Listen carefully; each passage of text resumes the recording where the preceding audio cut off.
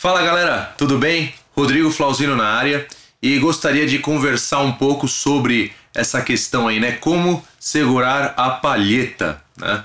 É, não tem, a gente já sabe que é meio que uma é, de conhecimento comum que não tem um jeito certo, exclusivo, mas é, é, meio que uma coisa pessoal. Lógico que a gente tem que é, ficar atento a coisas que vão ser mais fáceis para a gente tocar, né? Dependendo da posição é, do que a gente está tocando, não vai ser tão fácil para a gente executar é, outras coisas, né? Então, por exemplo, se eu quero tocar uma coisa com mais groove, não adianta eu tocar com punho duro, que não vai ficar muito legal, né? Então, eu gostaria de é, comentar é, como eu seguro a palheta e por quê, né? Primeiro de tudo, a maior parte do tempo eu estou segurando a palheta de uma maneira que me, eu me sinto mais confortável, né?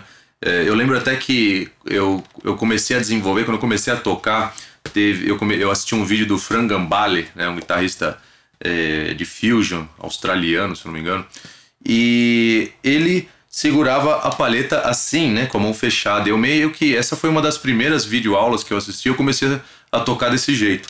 Eu fui desenvolvendo a partir daí, né? A gente com o tempo vai aprimorando, sempre uma, uma busca constante. Quem sabe daqui a um tempo depois desse vídeo eu não tô fazendo uma segurando a palheta diferente para tocar algumas coisas, né? Vai saber.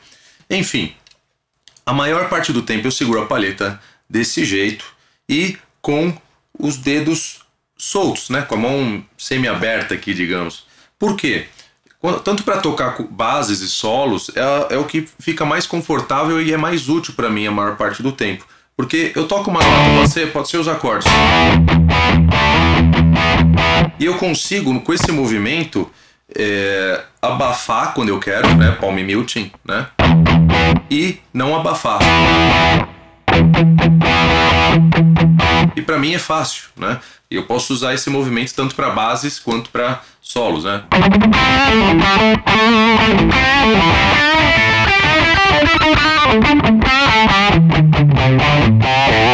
Então eu tô fazendo abafar e não abafar o tempo todo, né? Faz parte da minha interpretação, né? Parte do meu jeito de tocar. Então, é, não é só assim que eu seguro a palheta. Eu tem algumas coisas que me fazem mudar um pouco o jeito de segurar. É engraçado porque é, a gente tem que testar às vezes, né? A gente começa a tocar determinada frase ou determinado tema e não soa tão interessante, de repente você muda o jeito de paletar, fica mais legal. Então eu vou dar um exemplo aqui. Esses riffs estilo metálica, né, com, com punho duro, eu, eu consigo uma performance um pouco melhor, já notei, é, se eu to, toco com a mão fechada, assim.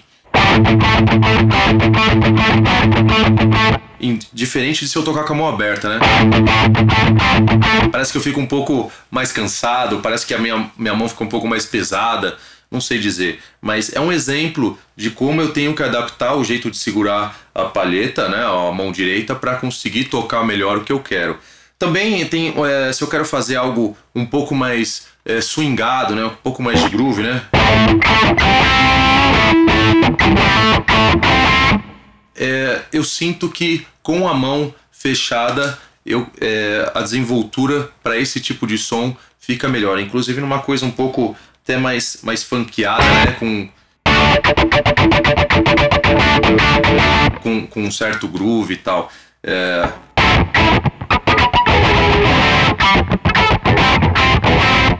Mas é uma coisa pessoal, né? Eu tô dando ideias para você. Quando às vezes vai acontecer você tocar alguma coisa e falar, não, mas esse jeito, eu tô paletando certo, mas não tá soando tão legal. Então você tenta mudar um pouco o jeito de segurar a paleta. Uma outra ideia também, às vezes a gente vai tocar, vou tocar, é, por exemplo, o solo da Highway Star, do Deep Purple, tem uma parte que é, que é um pouco rápida, né? Que é...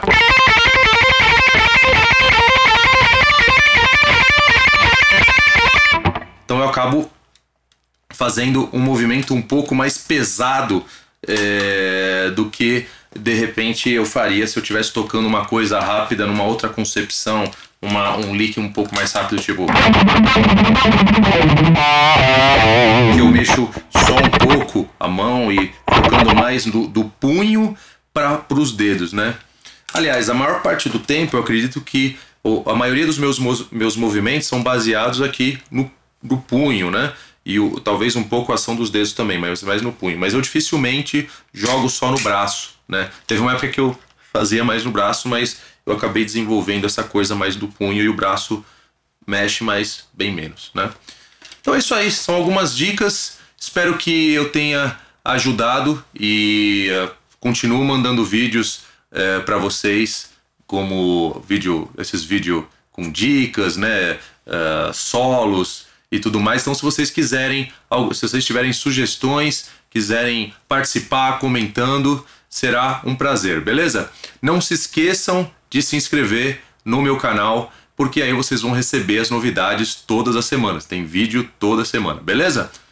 Valeu, até a próxima.